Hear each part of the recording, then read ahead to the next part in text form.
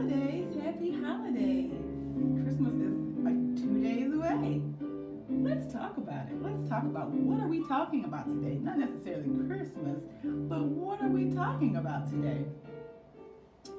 You know, I feel compelled to talk about things that just do something in me. And it doesn't necessarily mean something that I'm going through. It's just stuff that I see that is happening, right?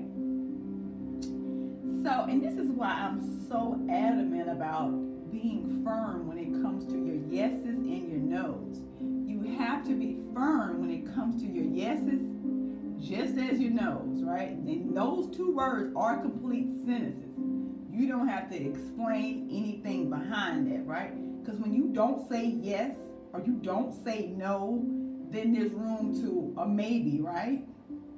And the other person who you're giving that information to don't really know what to do with it and they might do what they think they might assume what they think is best and they might do that and it might not necessarily be what you want them to do right or, or what you or the messages that you're trying to convey across.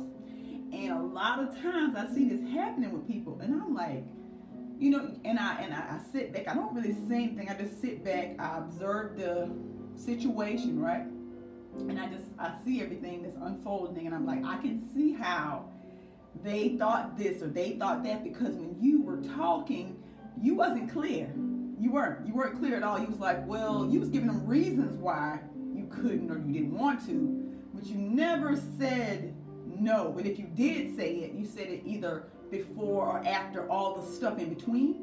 And sometimes we do that and we have to be firm about it. You got to be clear with your your intent. You got you you have to because people can just use that and just do whatever they feel is best, and that might not be what you're trying to, you know, convey, right? And so I see this happening, and I'm like, you ain't clear.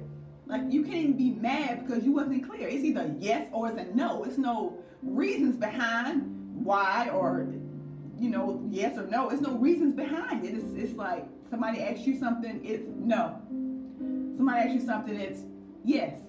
It's no, well, you know, and then it's a lot of stuff, right? It's a lot of stuff in their head. It's a lot of stuff in your head as well. And what I hear, a person on the outside here is, you're not sure about it, and they ain't sure about it either. So you never know how it's gonna go, right?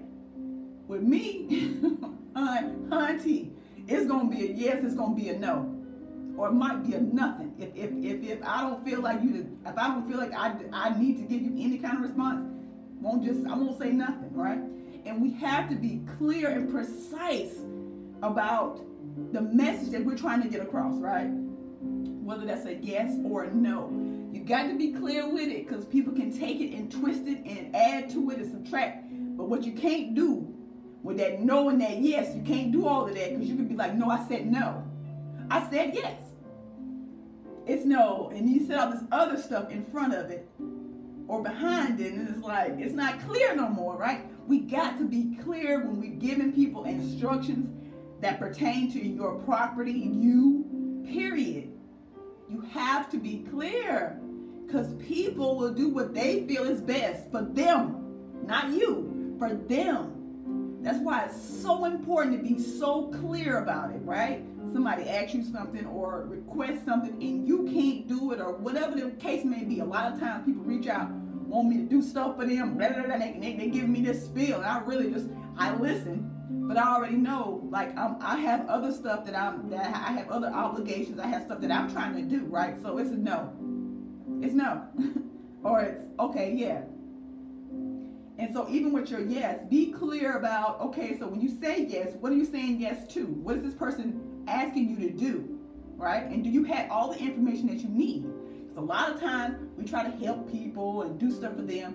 We're not clear with exactly what the goal is. Like, what's the goal we're getting from this? What are we doing? What, what, what am I doing? Like, what's happening? What is the result of my yes? You know, when you say yes, get get the get the, the everything that go with that yes, right? Get to what that yes means. And you know, you got you have to be clear a lot of people aren't clear about stuff. And then things don't go the way they try to try to, you know, express them to go. Like you said yes, but you said all this other stuff in between. So it's like they gonna be all right if I do it anyway, right? They gonna be all right if I do what you want. You know, you do what you want to do, right? Excuse me. People do that, and then you're like, no, I didn't know, and you trying to make all this excuse. No, you wasn't clear. They didn't understand you because you don't understand you. Got to be clear. Got to be clear. I just one message I wanted to really harp on because I see people doing that all the time, and I'm just like, I am. I'm straight no chaser. Drinkers know what that means. You ain't about to. you ain't about to pull nothing over me. No, because I, I, I'm thinking about it. I'm processing it, and if it don't feel right in here, it's no. Or if I feel like I want, if I can do it, okay, yeah, yes, and we go from there. But be clear about your stuff. Be clear about it, because people out here can take and twist stuff up and have you out here looking stuck, looking stupid. You know what I'm saying? In in a situation that you don't want to be in. So be clear. Moral of the story: Be clear about your intentions with people, with places, with things. Because once you once you say that, you can't take it back, right? You can't. So just be clear about that. Another thing I wanted to end on, um, really, my um, my dry erase board is just it's I can't find my little thing to clean it off, and it's all smudgy looking. And I wanted to show you um, something I learned yesterday, and so I'm gonna show. I wrote it on a piece of paper, so your circle here is your comfort zone, right?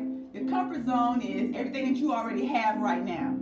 You got your house, you got your car, whatever it is you have, because everybody's everybody's circle is going to be different. Everything on the outside is what you want, right? And in order to get these things on the outside, you have to get outside of your comfort zone, right?